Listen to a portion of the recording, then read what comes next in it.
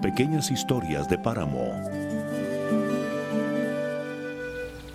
En los páramos andinos la mayor cantidad de especies de vertebrados son las aves.